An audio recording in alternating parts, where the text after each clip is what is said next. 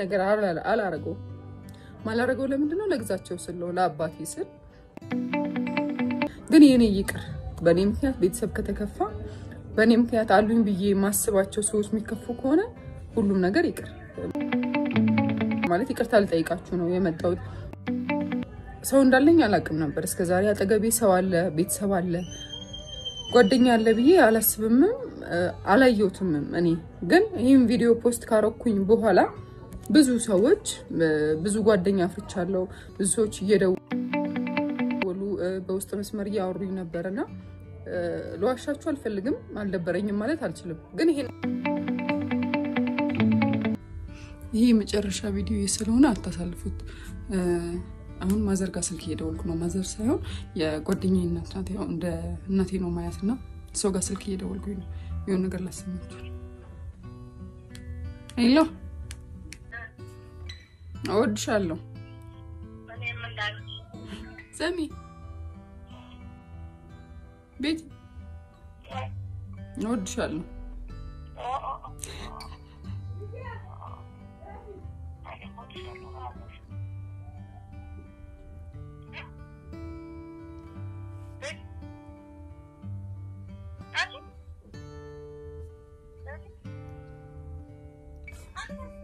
አይሰማም እንዴ?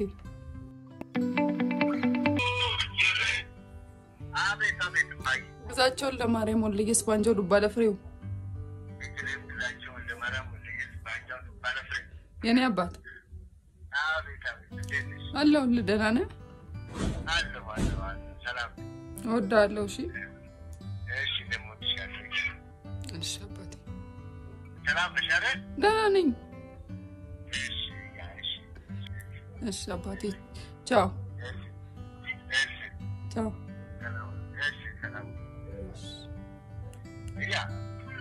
ወይ?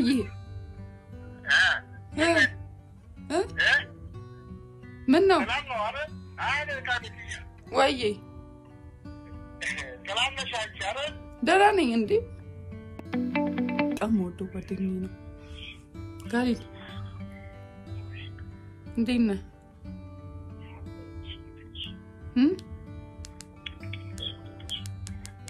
ቤት ሆነክ ነው? እሺ እወድሃለሁ። እሺ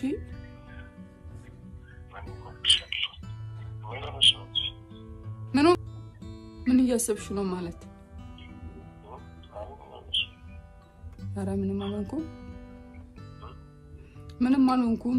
ሰው ፍቅሩን መግለጽ አይችልም እ በቃ ምን ለማለት ነው? እስካሁን ስልክ የደወልኩላቸው ምናምን የቅርቤ ሰዎች በጣም ነው የምወዳቸው።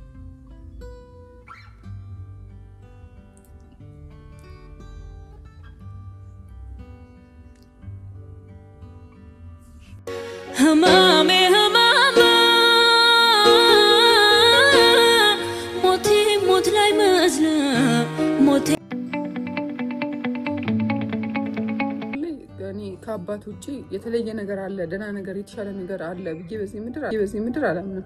ምንም ነገር የማረገው የምኖረው ደስተኛ ሆኜ የምኖረው ደስተኛም ሳልሆን የምኖረው ለአባቴ ስል ነው። አንደኛ። ሁለተኛ ደግሞ ቪዲዮ በምን ዙሪያ ነው የሰራሹ? ለምንድን ነው እንደዚህ የሀዘን ቪዲዮ የለቀቅሹ ላላችሁኝ ሰዎች ከዚህ ቀደም አንድ እህታችን ነዝራዊ የምትባል ፌስቡክ ፔጇ ላይ post አድርጋ ነበረ ብንሄድ ይሻለናል የሚል እና እዛ comment ኦች ላይ ገብቼ ሳይ ሁሉም ሀበሻ ጥሩ አይነት comment አልነበረም ሲሰጣት የነበረው። ልጅቷ ድብርት ውስጥ ናት ማለት መጥፎ mood ላይ ነበረች እና ያንን ነገር እንድታደርገው የሚገፋፋ comment ኦች ነበሩ። እውነት ለመናገር እኔም የነበርኩበት እንትን ጥሩ አልነበረም። ሰሞኑን ጥሩ አልነበረም። ከእሷ ጋርም ተያይዞ ይሆናል፣ ከራሴ ከግል life ኤ ጋርም ተያይዞ ይሆናል። ግን የኔ ይቅር። በእኔ ምክንያት ቤተሰብ ከተከፋ በእኔ ምክንያት አሉኝ ብዬ የማስባቸው ሰዎች የሚከፉ ከሆነ ሁሉም ነገር ይቅር ማለት ይቅርታ ልጠይቃችሁ ነው የመጣሁት። ሰው እንዳለኝ አላውቅም ነበር እስከ ዛሬ። አጠገቤ ሰው አለ፣ ቤተሰብ አለ፣ ጓደኛ አለ ብዬ አላስብምም አላየሁትምም። እኔ ግን ይህም ቪዲዮ ፖስት ካረኩኝ በኋላ ብዙ ሰዎች ብዙ ጓደኛ አፍርቻለሁ። ብዙ ሰዎች እየደወሉ በውስጥ መስመር እያወሩኝ ነበር እና ለዋሻችሁ አልፈልግም፣ አልደበረኝም ማለት አልችልም። ግን ይሄን ነገር አላረገውም ማላረገው ለምንድን ነው? ለግዛቸው ስል ነው፣ ለአባቴ ስል ይህን ነገር አላደርገውም። ምክንያቱም ከደቂቃዎች በፊት ደውሎ በጣም ተጨንቆ ጠዋት ላይ ደጋግሞ እየደወለ ነበር እና ስልክ ከደቂቃዎች በፊት ደውሎ በጣም አሞት እንደተኛ እና ሌላ ሌላ እኔና family ያለነው አንድ አካባቢ አይደለንም እና ቤት ለቅሶ ብለው ሰዎች እየመጡ እንደሆነ አያታችን ቤት ሰው እየመጣ እንደሆነ ነገሩኝ እና በጣም ደንግጬ እኔ እኮ የምኖረው ለአባቴ ነው ማለት ምንም እንኳን ህይወቴ ላይ ስኬታማ ሴት ላልሆን እችላለሁ። ነገሮች እኔ በፈለግኳቸው መንገድ ላይ ሄዱልኝ ይችላሉ። ግን በህይወትክ ለምትወደው ሰው ስትል ምንም ነገር ይቀራል። ምንም ነገር ትተዋለህ እና ብዙ ነገር በጸሎትም ረድታችሁኛል። ደውላችሁ ብዙ ነገር ብላችሁኛል። ቢያንስ ያበርትቶኛል። ምንም ነገር ሊፈጠር ይችላል፣ በህይወታችን ምንም ነገር ሊሆን ይችላል። ግን ደግሞ ወደው ለአባቴ ስል ነው እና አባቴ የምር ይሄ ነገር ህመም ከተሰማው በዚህ ነገር በዚህ ነገር እኔ ድብርት ውስጥ ከተዋለሁ ብዬ አላሰብኩም። በቃ ስለከፋኝ ነው ቪዲዮን የሰራሁት። ይደርሳል ብዬም አላሰብኩም። ይህን ያህል ቫይራል ይወጣልም ብዬ አላሰብኩም። እና ሁላችሁንም ይቅርታ መጠየቅ እፈልጋለሁ። ይሄን ሀሳብ ከአይምሮ እንዳወጣ የረዳችሁኝ ቤተ እምነት እንደዚህ ላይ ያላችሁ ሁላችሁንም በጣም ነው የማመሰግነው። እግዚአብሔር ያክብርልኝ። ይህን ያህል ኢትዮጵያውያኖች በዚህ ልክ እንደሚተባበሩ በዚች 24 ሰዓት ባልሞላ ቪዲዮ ውስጥ አይቼዋለሁ እና እውነት እግዚአብሔር ያክብርልኝ። ሁላችሁም አርቲስቶችም ቲክቶከሮችም ምናምን ሁላችሁም ደውላችሁ አይዞሽ ከጎንሽ ነን ስላላችሁ በጣም ነው የማመሰግነው።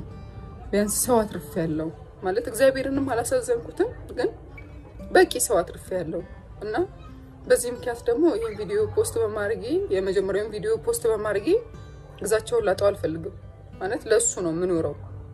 ስኬታማም ሆኜ እንዳይ የምፈልገው ለእኔ ሳይሆን ለሱ ነው። በስሬ ስኬታማ ሆኜ እንደ ግዛቸው ልጅ ምናምን ተብዬ ጥሩ ጠንካራ ሴት እንደሆን ነው ጥሩ ጠንካራ actor እንደሆን ነው የምፈልገው ስራዎቼ ላይ መሰራው art ውስጥ ስለሆነ እና ላስጨነቅኳችሁ፣ ለረበሽኳችሁ ዘመድ አዝማዶቼ ኢትዮጵያን፣ ለሁሉም ሀገር ውስጥም ከሀገር ውጭም ላላችሁ የደውላችሁ ለነበረ ለሁሉም በቃ ደህና ነኝ፣ እግዚአብሔር ይመስገን። ማለት ምንም አይነት እርምጃ ራሴ ላይ አልወሰድኩም።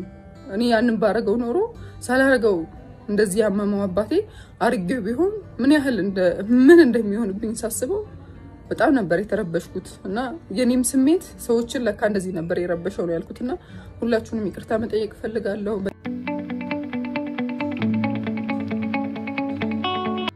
ብንሄድ ይሻላል፣ ምን ቀረም ብለን እንቆይ።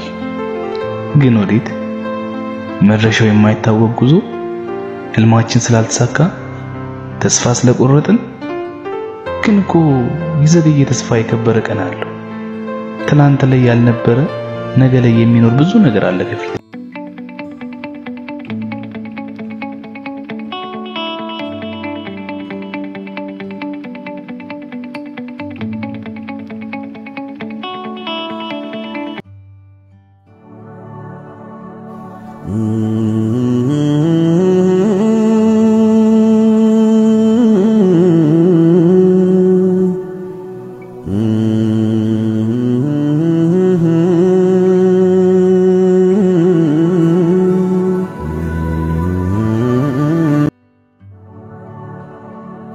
Mm.